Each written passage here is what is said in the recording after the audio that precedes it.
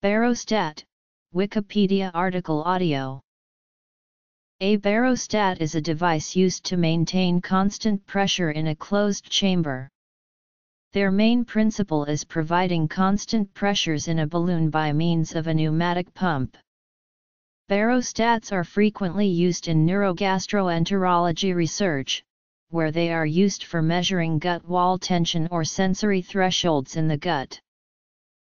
A specially designed instrument is needed in neurogastroenterology research since the gut wall has an outstanding capacity to expand and contract spontaneously and by reflex.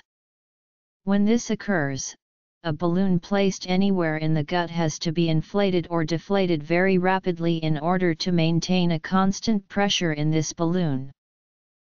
Barostat balloon systems have been used anywhere in the gut, including the esophagus, stomach, small bowel, colon, and the rectum ampulla.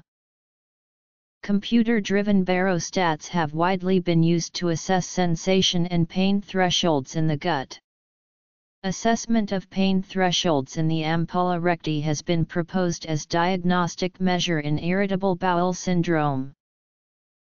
A typical method for measuring thresholds is the single random staircase or tracking procedure. This is a blend of two paradigms widely used in psychophysical research, ascending stimuli and random stimuli.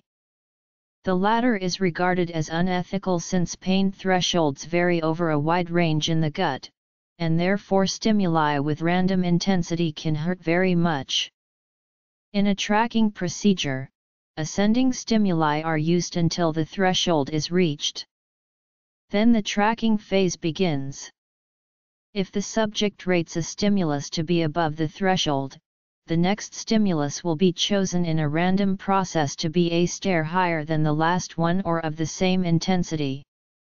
If, however, the subject rates the stimulus to be under the threshold, a less intense or similar stimulus will follow. Therefore, each stimulus is unpredictable in this phase.